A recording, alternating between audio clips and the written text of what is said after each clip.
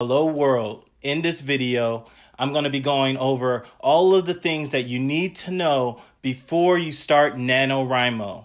This is going to be your ultimate Preptober guide. Whether you're a pantser, plotter, or anything in between, this is going to be all the information that you need to get started and to make NaNoWriMo go as smooth as possible. If you can use all the info in this video, you will finish your draft in 30 days or less. On this channel, we cover all things writing and screenwriting. So if that's something that interests you, make sure you subscribe so you don't miss a video. I make sure to give tangible advice that you can use right away to improve your writing. I'm to set this video up as a continuous reference guide so that way you can watch it all the way through the first time, but then you can come back and skip to the chapter markers that I put below for the parts that are relevant to you. A lot of the information is going to be based on structure, but I promise all you pantsers out there and people who like to write as they go, I'm going to have some key information at the end of the video so that way you can get through this too. The first one is optional, but it definitely helps a lot of people, and that's going to be free writing. See, if you free write a lot of the things that come to your mind with your story ideas and scenes that pop in your head that you might think are cool, you can just write those down. But you want to set a time limit or a date where you stop doing that process, where you stop just generating all the ideas that are going to be in your story and you start actually constructing the scaffolding that your story is going to stand on. So before you start NaNoWriMo, you're probably going to want to have a story idea. And if you don't have one, here are five tips. If you already have one, you should probably watch this because it might help you really narrow down what it is about your story that's keeping you interested. And they're just nice techniques to have along your writing journey. The first one is flip the premise. You basically can take the antagonist and make them the good guy, make them sympathetic. You're seeing a lot of versions of this in the industry, things like Maleficent or the trilogy of Star Wars with Anakin Skywalker. Or you can do a gender swap, like in He's All That, the former property being She's All That. You can take a story that you like and switch around the pieces, and then you will have something new. The second technique that you can use to generate ideas is simply taking a story that you like already and transporting it into a different genre. This may seem kind of weird, but I'll give you an example. So, if you have Finding Nemo, for instance, you have the story of a father looking for his child, and he goes on this journey lots of scary things along the way. The child is abducted. That's why the father has to look for him. Well, this is the same plot of Taken. But you never would think of Taken and Finding Nemo as being the same base story. So if there's a story that you already like, you can kind of take out that skeleton, put it in a different genre, and you're going to have a different story. The third technique you can use to generate ideas is basically asking what if. You can say what if for almost anything. What if Cinderella was actually a bully? What if Cinderella was a time traveler? Asking what if to anything that pops in your head story wise can take you down a rabbit hole that will give you a unique idea. Another technique that you can use is just think about the first person or the last person to do something. This could be the last person to send a handwritten letter. This could be the first person to travel through time. When you think about the first or the last person to do something, it's definitely going to give you a good story idea. A fifth way to generate story ideas could be simply taking two ideas, matching them together. An example could be The Bachelorette meets Twilight. What does it look like if all of the contestants on The Bachelorette are paranormal creatures. Another example could be something like Frozen meets John Wick. What would happen if Elsa went on a vengeful rampage? That would probably be horrifying, actually. Now that you have your story idea, we're going to decide on the main question of Act 2. You want to make Act 2 revolve around a question that has a yes or no answer. You don't want it to be gray area. Will Katniss survive the Hunger Games? Is Neo the one? Questions like that will drive the events in your story and bring us to our next step. A lot of people get hung up writing character bios with very intense questions about what their character wears, where they live. You don't necessarily need the full character bio, especially when you first start, but something that will definitely help you is knowing your character's motivation. You need to know why they get out of bed every day. You need to know what they would die for. It really helps if you know what would make the character change? And for this particular character, what is the worst thing that can happen to them? Because that's exactly what you want to put in your story. If you answer those questions about character and not focus on the details at this part of the story, then you're going to have a very strong footing to stand on. Now that you know the character and the general idea, you're going to want to pick a tense and a POV that can help you best tell the story. I recommend first or third person, past or present tense. Future tense and second person tend to be a little bit harder and most of the stories that we see are told in first or third person, past or present tense. So you have more experience consuming that type of content, so it'll be more natural for you to use those.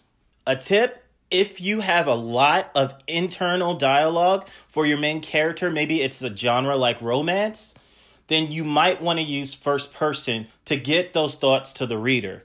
Otherwise, you're most likely going to have to have a sounding board character to whom they're divulging all of their thoughts to. And that can be kind of clunky, which is one of the main reasons we see so many stories told from first person to really get across that internal conflict.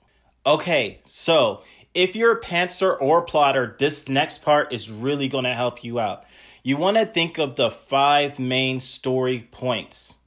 That's going to be your inciting incident, which is the event that kicks your story off and makes things change from the regular life they had before to the new adventure that they're about to embark on.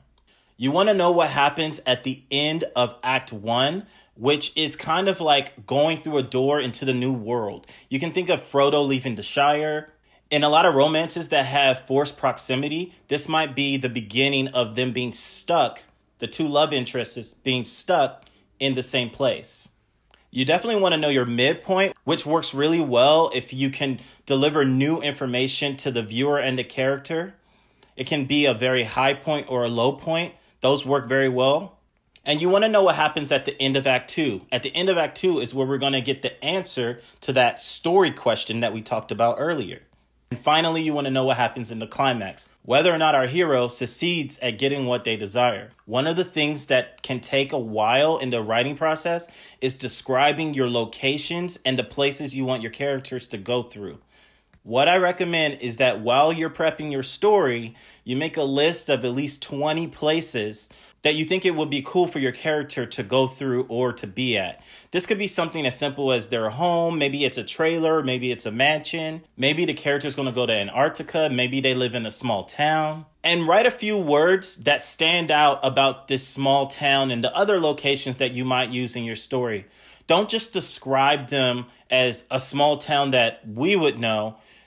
Describe them as a small town that we would know, but include at least one specific detail. That one specific detail will really ground your location and make us really feel it as your characters go through it. For all of these previous steps that I talked about, you can definitely use flashcards or paper and pen writing longhand. Some people use whiteboards. Usually I just use a general Word doc because I like to copy, paste, and slide the things around on the document.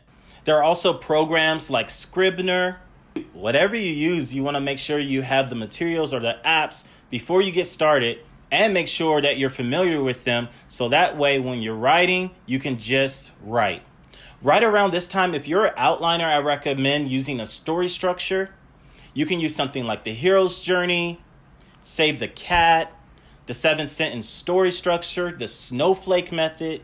There's the 27 chapter outline. There's also Dan Harmon's story circle. There's a lot of story structures out there. I've used a lot of them. The main thing that all of them have in common is they help you devise a roadmap for where you want to go. But if you're a pantser, I recommend you definitely have those five important story beats that we talked about earlier. The biggest thing with story structure, whether you're a pantser or an outliner, is that you remember it's about cause and effect. Whatever your characters are doing, it's going to affect them. You want to show us how it affects them, and you want to show us their next steps into getting what they want. If you remember cause and effect, and you're honest about what your characters want at all times, then you can't really go wrong. Okay, so now we're going to go over some habits that are good to have to push you through that first draft so that way you can finish in less than 30 days. Before you get started, you definitely want to check your schedule and see how much time you have to realistically write. I recommend budgeting a 20% cushion with whatever you calculate because you never know what life might throw at you. Then you want to calculate how many narrative words you can write per hour. That's not to be confused with how much words you can write per minute over the course of an hour. Generally, new writers can write between 500 to 800 words an hour. If you're writing more than a thousand words an hour, then you're doing really well. A good technique to employ is using sprints. The idea of writing sprints is just writing in short bursts. These could be as short as five minutes if that's all you have, to I would say about up to 30 minutes. Anything longer than 30 minutes is starting to get into more of the endurance category and you're not really sprinting. You don't have to sprint, but sprints work really well if you're on a tight schedule often when I'm writing, I'll schedule several sprints throughout the day, and it helps me stay focused and get the work done in that short window of time. Another habit that's good to get your draft done is writing every single day. Writing 30 minutes for five days a week is going to be much better than cramming it into two and a half hours on one of your weekend days. That's because for those shorter periods of time, you're going to be able to focus better.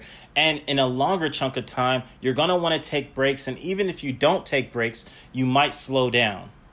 A good habit to have is writing even when you don't feel inspired, forcing yourself to just do the words. Don't worry if you think that it's not going to be good. NaNoWriMo and finishing your first draft is all about getting the work done. That way, you have something to fix later. If you don't get the words down, then you won't have any words to fix later. The more often you do this, you're going to be able to get into a flow state where you won't even notice that time is passing and the words will start to feel like they're writing themselves.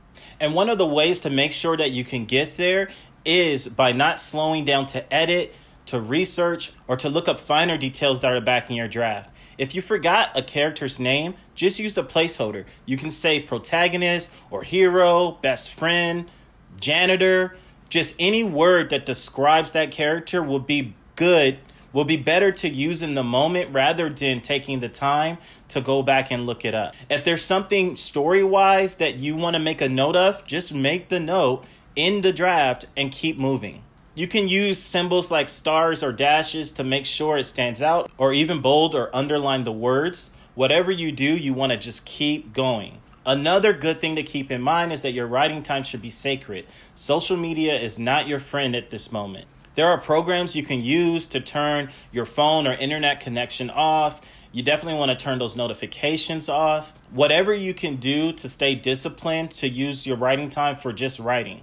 And I promised the Pantsers some key ideas that will help them get through. So here they are. But if you're an outliner, you want to listen up because these will help you also.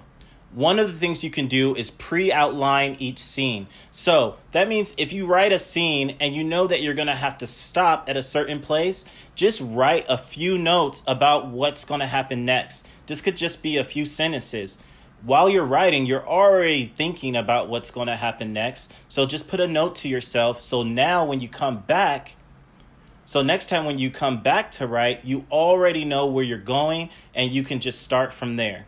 Another tip is don't be afraid to stop mid scene. If you stop mid scene, it will allow you to dive right back into the story on your next writing session. A lot of times when we stop at the end of a scene, it takes a while for us to ramp up into the next scene that we're going to write. We have to describe the location and set the mood. You can skip right over that if at the end of your session you stop mid scene. And another thing that's really helpful is that you use your downtime or your away time from writing to think about the scenes and the next events that are going to occur. Even if you have an outline, it's very helpful to think about the exact words that you're going to write when you're away from your writing time. That way, when you dive back into work, you know exactly how the words are going to be laid on the page.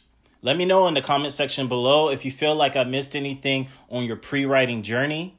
And if you have any questions about the things I explained in the video, leave a comment below. I'll make sure to get back to you and I might even make a whole video explaining that topic for you.